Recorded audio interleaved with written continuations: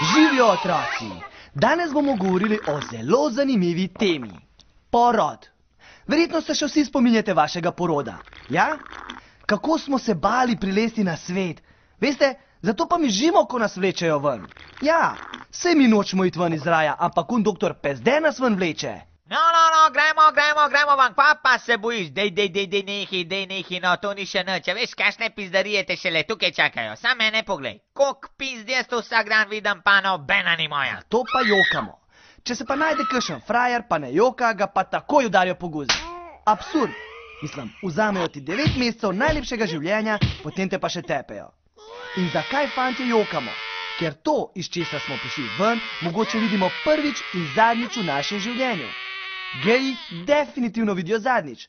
Ampak pravijo, da se oni rodijo že takšni in imajo celotno seanso drugačno. Hello, YMCA. Kaj, kaj, kaj, kaj to? Stran, stran, ne, ne, stran, stran, noče več v življenju tega videti, stran pelte.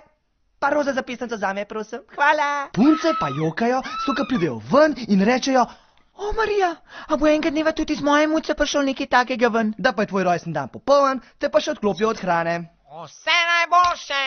Potem se začne žurka, dojenje. Uh, a. Fantkom je zakon, mamicam pa tudi, ker jim paše. uh. A, si me malo grizno, a? Priden, priden. In zdaj vem, zakaj smo moški bolj potrebni in nori na seks, kakor ženske. Zaradi jošk.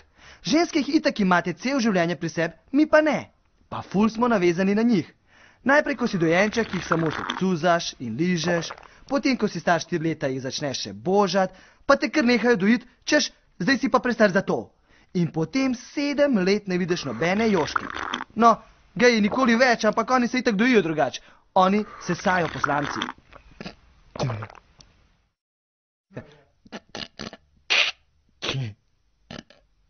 Mm.